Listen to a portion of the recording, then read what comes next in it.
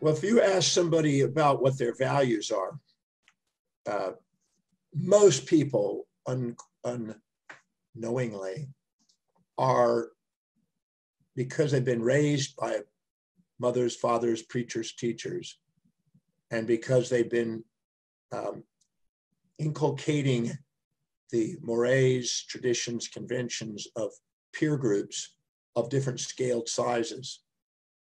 Um, they have been injecting the values of those that are leaders in society's ideals, and they confuse what is really important to them individualistically compared to what they think it should be.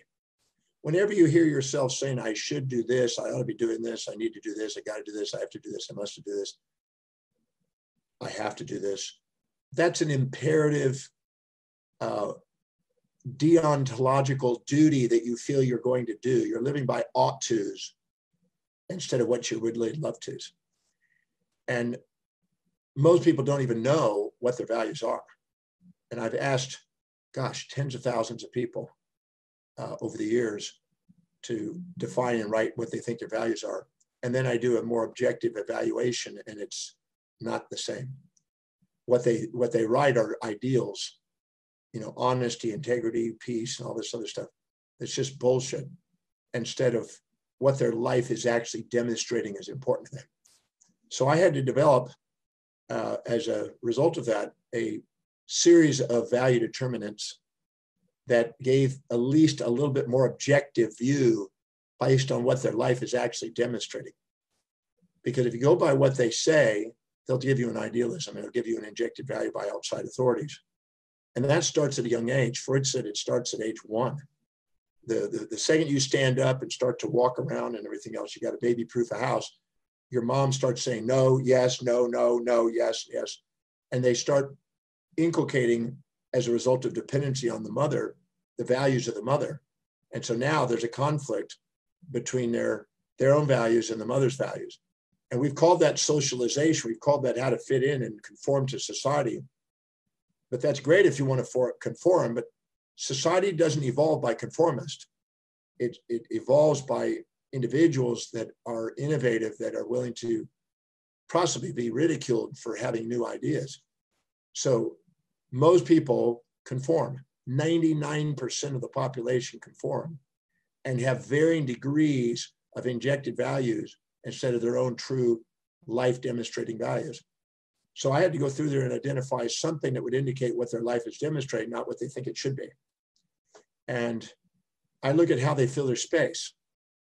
Because even a baby in a little uh, baby uh, crib or whatever will, if you toss something into the baby crib, um, the playpen or whatever, it, it will, if it's something that it wants that's really valuable to it, it'll stick in its mouth and it'll hold on to it and look at it and observe it and explore it and keep it close to it, uh, to the baby. But if it's something that it doesn't want and it has no value on it, it will kick it out, throw, scream, cry, push it away. Eh, because anything that is close to us, that's proximal to us, is valuable. Anything that we push away and don't want around our space is obviously less valuable. And so the, the what is measured in our intimate and personal space, our foot and a half to four feet around us, has a lot to do with what we value. So the first value determinant is what do we fill our space with, our intimate space and personal space? What are the three highest priority items that most consistently we have around us? Could be our cell phone, it could be our computer, it could be our children, it could be um, technology, it could be food, clothes. It depends on what we value. Uh, my daughter is involved in in um, fashion, so around her were fashion items and clothes and things. So that was, she was looking at creative ideas. Uh, myself, it's more, it was books for many years. And now it's uh, computer really. So if you look at what a person's space is filled with, it tells you what they value. The second one is time. You know, if you look carefully at what you spend your time on, you make time, find time, spend time on things that are really valuable to you you run out of time, don't want to spend time, and can't find time for things that aren't. And it's a, you may have a moment to moment variation based on the urgencies, but overall, the scheme of your life is demonstrating this. So you look at how you fill your space and how you spend your time. Those are two really great indicators of what's really valuable to you. Because if you if you say I, I want to be financially independent, but your life doesn't demonstrate um, that you're accumulating wealth, and there's no demonstration of working and and investing in money and stuff like that, then it's just a, it's a fantasy. The third thing is what energizes you. When you're really around something that's valuable to you, your energy goes up. And when you're not, your energy goes down. So you look at what energizes you most. You know, I love, I always have energy for doing presentations and educating and also my research. But I don't have edu- I don't have uh, patience, you might say, or a lot of energy for going to a cooking class, for instance, or a driving class. That would that would be it, or going to a, a, car show or something. That means nothing to me. So I would have, I'd be bored with that. So you look at where you're energized and where you're not, and what energy, what what grows your energy, and you always have energy for, and you're energized doing it, and you can wake up and you're animated. Your reticular activating system is alive when you're doing it. That's an indication of what you value. The next one is what you spend your money on and find money for. You'll find money, you'll make money, you'll spend money on things that are valuable. And if you and you won't want to spend money on something that's devalued. Who, who wants to spend money on something that they don't think is a value? They don't want to exchange that way. So look at where you spend your money and it tells you what you value. When I was in my 20s, I was buying 40 to 70 books a week on average. And so I obviously had a value on learning and books and was reading voluminously books.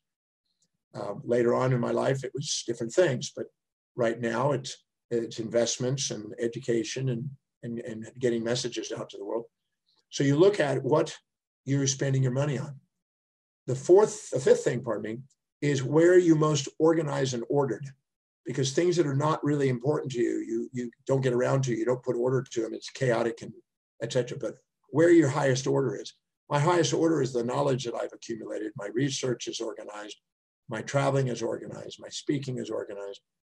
So I look at where I'm most organized, and that's what you value. And if you say, well, I'm not organized, you are, you're not paying attention to it. And if you think you're not organized because you're comparing yourself to other people and, and you're expecting to be organized in something that's not really important to you, but you think it is because you've injected that value. And that's confusing. So people are, I'm not organized. Yes, you are. You're organizing what's valuable to you. I, I've been doing it a long time. I guarantee it's true. The next one is where you're most disciplined and reliable. Uh, you can count on me to be researching every day. You can count on me to be looking up articles. You can count on me to be updating and writing in my manuals for seminars. You can count on me for up until recently traveling. So whatever's highest on your value, you're extremely disciplined in and you spontaneously do things. And that tells you what you value. The next three are, are what do you think about? What do you visualize? And what do you internally dialogue with yourself about most? About how you would love your life to be that shows evidence of coming true. And you take each one of those and you top, write down the top three answers to each, one after another. And they may be slightly different answers, but there'll probably be a scheme there, a theme there. It'll be reiterated. But what is it you think about, visualize, and affirm about how you would love your life? And make sure it's how you would love your life and not how you don't want it. And make sure there's evidence that you're making progress on it. If there's no evidence, don't write it down because that's a whim or a fantasy. I need to know what is the evidence. I have evidence that I want to travel the world teach. I don't have evidence of other things that I fantasize about that don't show up. Don't write down things that aren't showing any evidence. Write down what is. And you'll see a pattern. This will, I guarantee it'll be a pattern. The next one is what do you want to converse with other people about most? And what do you keep engaging in conversations with people? If you do, you start to be extroverted and talk, and you tend to be engaged in listening. That tells you what you value. the next one is what is inspiring to you and what's consistent to the people who inspire you if I look at who've inspired me, it's been the great Nobel Prize winners and all their works, uh, all the great philosophers and thinkers, all the leaders in various fields that were innovative, that created a new form, or the, the father of this, the mother of this, the originator of this. Anybody who's creative and original in their ideas, I've been inspired to read and study and, and read their biographies. So look at what is inspiring to you in people and what is the things that you do that bring tears to your eyes. Every moment you actually get a tear in the eye from anything, uh, listening music or mu- going to a movie or whatever, get a tear. Write down what it was that was in your mind at the moment of the tear and document the inspirations because they're guides. The next one is what are the three most consistent things that you, three most consistent and persistent goals you have about, about what you want to create in your life that you're showing evidence coming true? What are the goals that are actually coming true? You know, I, I do, a desire to travel the world. I desire to gather a vast amount of information and share it. They are coming true. Um, there's other things that I thought were whims that I wanted to do, but it, it, never got around to doing them. Those eventually fade out and you realize that just they're just whims, they're not real. You got to look at what your life is really demonstrating to know what's really important to you. And the last one is what do you love studying about, reading about, learning about, listening to about most um, that you just spontaneously want to learn because you want to learn what's important to you. You don't want to learn things that aren't. You want to fill your mind with what's important. So what's interesting, so what's interesting is that if you answer all 13 of those questions and answer with integrity and not write down what you fantasize or what you wish it would be or hope it would be or what it used to be, but what it is now and recently and most consistently. If you do and answer three answers each, it'll summarize and you'll look at which of those answers are repeated most, second most, third most, fourth most, and you'll have three to five answers that will be the top three values in your life. And if you look at that, you'll you'll get a sense of it, and it'll be obvious. And you'll see your identity revolves around it. You'll see that the thing you love learning is revolves around it. You'll see that that's where you're most disciplined. But by identifying through the value determination process, uh, the 13 value determinants that I created, it increases the probability of being clear about what it is. And if you link what you perceive, what you decide, what you act on to that, uh, you're going to be engaged. There's absolutely no reason why we can't be engaged. I, I tell people either go do what you love through delegating or go love what you do through linking. And engaging is about linking whatever you're doing, whatever you're perceiving, to whatever is highest on your values. So you start to see things on the way, not in the way. And you see things as feedback, not frustration or failure. Thank you for joining me for this presentation today. If you found value out of the presentation, please go below and please share your comments. We certainly appreciate that feedback. And be sure to subscribe and hit the notification icons. That way I can bring more content to you and share more to help you maximize your life. I look forward to our next presentation. Thank you so much for joining me.